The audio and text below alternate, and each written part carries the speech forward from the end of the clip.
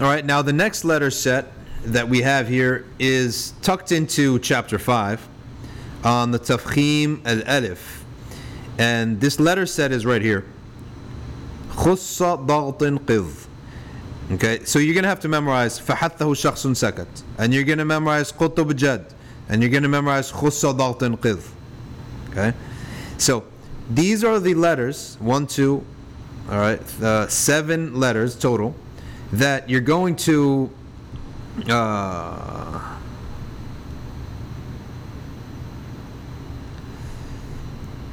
when you pronounce them, they're fattened, thickened. Kha, Sad, Bad, Ghain, Ta, Qaf, Va. We, so we talked about these a couple times already. So these are the fattened letters. And if a fatha or alif comes after it, it's going to be a or ah. If it's fatha, ah. If it's a alif, ah. Okay? So the alif is made mufakham, strengthened, only when it is preceded by certain letters, termed huruful isti'la. Okay? Huruful isti'la. That's the actual technical word for them. An example is, I'm trying to get rid of this shading here. I don't know why it's shaded. An example is Abalin, Okay? Abalin. Remember that the alif is often written in the form of a dagger too. So be careful from the dagger alifs. Now you might get those. And that one is right here. And that would be miqat. All right, miqat. So this dagger right here, remember, that is an alif. So you're going to count it as an alif. Miqat.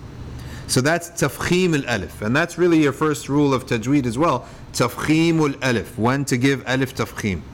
We also said that you're going to have to do for ra. Ra as well. And remember, why is Ra not added to Khusadat and Qidh? Like, why isn't Ra in there? Because sometimes Ra is muraqqaq, and we'll get to that later on. And it always has to do with the kasra. Whenever Ra is in and around, around the kasra, you'll see that that's the marker that makes Ra muraqqaq. Fir, not fir, right? So Ra with a kasra, uh, like rehab. You don't say rehab, rehab. Okay?